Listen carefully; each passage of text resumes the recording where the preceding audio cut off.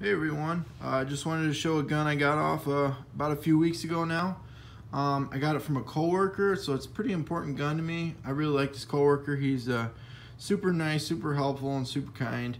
He's a retired police officer um, from a nearby city around here, and uh, he's just a cool guy. And he gave me, he basically gave me this gun. I mean, I actually paid him more than what he asked for it, uh, just because I felt bad because it was a good gun for him and I've always wanted one. And uh, in talking to him, he gave it up for me. So it's a Beretta 20 950B 22 short Minx, and uh, just to make sure we're clear, empty magazine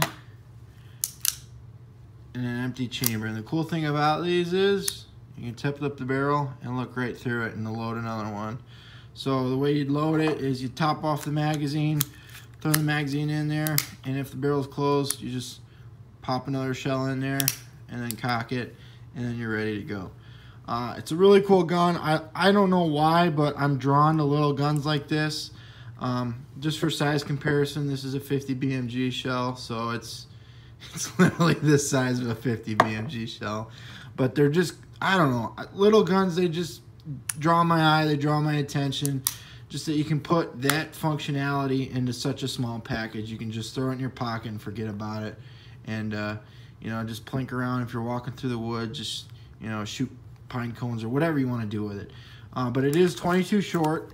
Um, it is the Minx. I don't know if you can see the uh, branding on there. It just says Beretta 950B 22 Minx 22 or 22 short Minx. But uh, red on the grips there and there. Um, it's in great condition. He said he bought it brand new in 1970 for, I think, $25, I want to say he bought it for. Rifling's decent. He painted the sight a little bit. Um, it's got a better sight picture than my Baby Browning, um, just because of that front sight post is a little painted. The uh, the notch groove rear sight is a little bigger. It's it's just easier to pick up than the than the Baby Browning. Uh, it's just a cool gun. The history behind it. Um, Sootch Double O did a great video on these guns, so I'm kind of copying him off that. But uh, I've never never taken this gun down. I've never cleaned it. I have shot it. Um, I think on this particular one, I'll show some video of me shooting it, but I think on this particular one, the uh, hammer spring is a little light. I don't know if he kept it cock cocked over the years and it just became weaker, but um, it seems like it's getting good hammer strikes on the primer, but um, it might be a little weak, and I, am thinking about replacing that because I did have some failure to uh, uh, ignite, and you know that's that's kind of, it's 22, so it's not a reliable cartridge. But I just wanted to show it off. I don't know a whole lot about these. I know they were super popular back in the day. I think Beretta still makes them. Taurus makes a few of them, uh, but I'm a fan of the Berettas just because uh, I'm a big fan of Italy, so you know them being made over there and it's just cool. But uh, the whole mag magazine holds six shots. Throw, like I said, you know you load a mag up, throw it in there, pop one in the chamber, and then cock it, and you're ready to go. You got six plus one. Uh, so it's just a cool little cool little gun I wanted to show off. I actually literally like five days ago bought the same gun of this, except in a 25, and that's the Jetfire. Uh, the only problem is it didn't come with a magazine, so I'm waiting on a magazine. But uh, it's growing my little little gun collection. Um, Sootch Double O called them mouse guns. Um, so I've got uh, four of them now. Um, but uh, it's just a fun little gun. I just wanted to show you guys. If you're interested in, if you're interested in just fun little guns, just plinking around. This is the ticket right here. It's cheap. Um, you know, on GunBroker, they're going for, I don't know, 250 350 something like that.